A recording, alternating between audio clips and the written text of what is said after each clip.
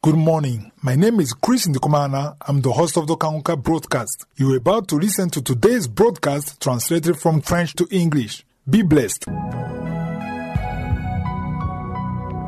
Today's Thursday, we're continuing with our teaching on changing our mindset. I hope these teachings on changing your mentality have made an impact on your life because it's impossible to listen to these teachings and remain the same person. Even for me, as I teach, it impacts me too. There has to be an impact because the Word of God is like a sword, the Word of God is a mirror. That's what the Bible says. It's like looking into a mirror where you see what's wrong and then you correct it. So, the Word of God is meant to transform our lives and shape the way we see things. Last Thursday, we saw that many people start out doing good things like supporting God's work, helping the poor, and giving regularly, just as they've been taught. But over time, they get discouraged. Many people start strong, but they often end up giving up. Why do they give up? Because they were taught poorly. I've seen many Christians who start supporting God's work, they help with evangelism, they assist God's servants, they help widows and orphans, but it doesn't last. Why doesn't it last? That's why we're teaching this. There has to be a change in mentality. It doesn't last because they were poorly taught. When you're told that giving will make you rich, that you'll become a millionaire, that you'll earn a lot of money, and then you don't see that money coming in, you get discouraged.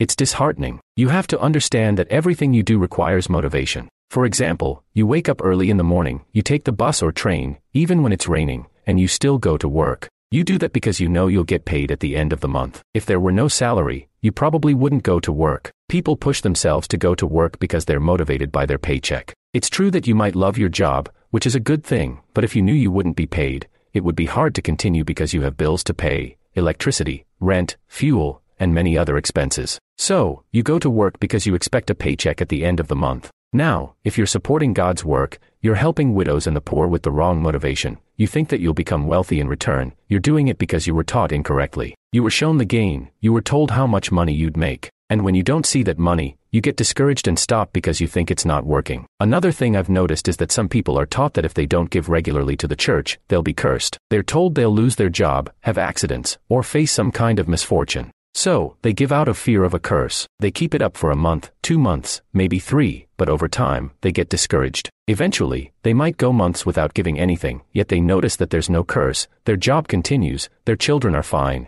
and life goes on. They realize they were misled, and that's why they stop giving, thinking everything will be okay even if they don't. This is the mindset that needs to change. You must understand that we don't give to be blessed, we give because we have already been blessed. Let me repeat that. We don't give to be blessed, we give because we have received a blessing. That means you give from what God has already given you. If God has blessed you, you then bless others, you support God's work because of what you've received from Him. If your mentality is to give just to receive, you'll quickly lose motivation, and you won't be able to continue. And that's why God may delay in blessing you because He wants to change your mindset. He wants to remove this wrong attitude from your heart. Don't be a manipulator. Don't give with ulterior motives. Don't act like a businessman, trying to make deals with God. Do it as someone who is grateful for what God has done for them. If you're supporting the poor, the widows, God's work, or evangelism just to get a great blessing in return or to be prosperous, the day you don't see that promotion or that financial breakthrough, you'll give up because your motivation was wrong from the start. Last Thursday, I concluded by saying that there should be at least one person who thanks God for the blessing that came through you.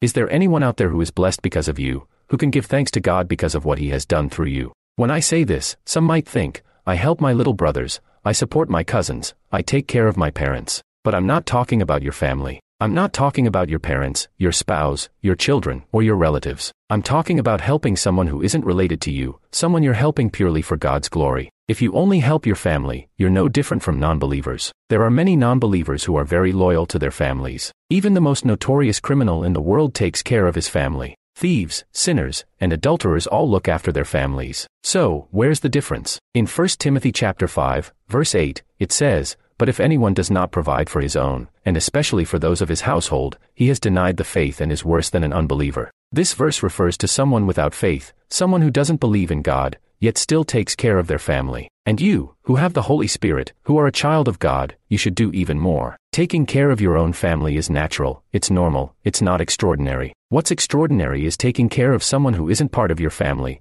and doing it solely for the glory of God. So, the question remains, is there someone out there who is blessed by you, who receives something from you, and can thank God because of what God is doing through you? And I'm not talking about your spouse, your little brother, or your parents. I'm talking about someone you're helping because they're in need, someone with whom you share what God has given you, purely for the glory of God. Does that person exist? We'll come back to this question next Thursday.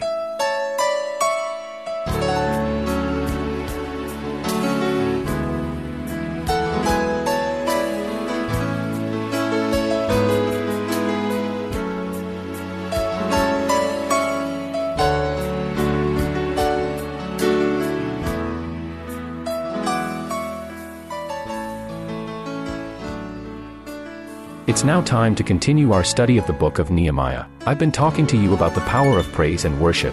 We saw how David came, and through praise alone, King Saul was delivered. I had asked you to read chapter 12, but today, I'd like to go back to chapter 11.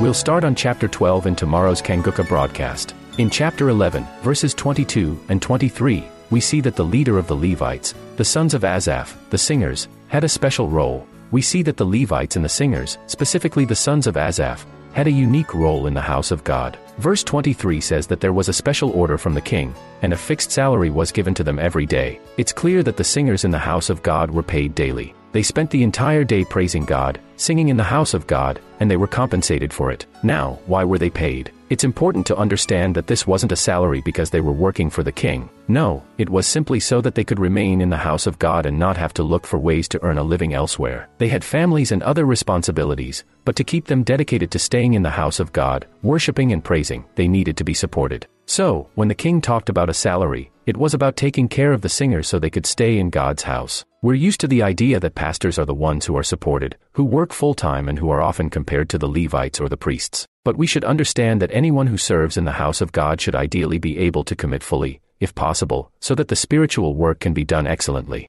I know some people might not understand this, but it's for the benefit of the body of Christ. For example, there might be a pastor serving a church who also has to work a secular job and then come back in the evening to take care of the church. From my own experience, I've seen many pastors struggling because they work outside the church. They often have bosses who aren't Christians, and they deal with challenges like corruption or other frustrations, sometimes even facing mistreatment. When they come back in the evening, they're exhausted, both physically and spiritually, which is dangerous because they're spending more time in the world than in the presence of God. Remember what happened in the book of Acts. At first, the apostles were doing everything themselves, they were serving tables and handling all the tasks. But they soon realized that this wasn't sustainable, so they appointed deacons. The deacons took care of the practical matters, the material things, the tables, and the Holy Communion, while the apostles dedicated themselves entirely to prayer and the Word of God. Let me say this again if a church is still young and doesn't yet have the resources to support its pastors or servants of God, then, of course, the pastor needs to work to make a living, to pay bills,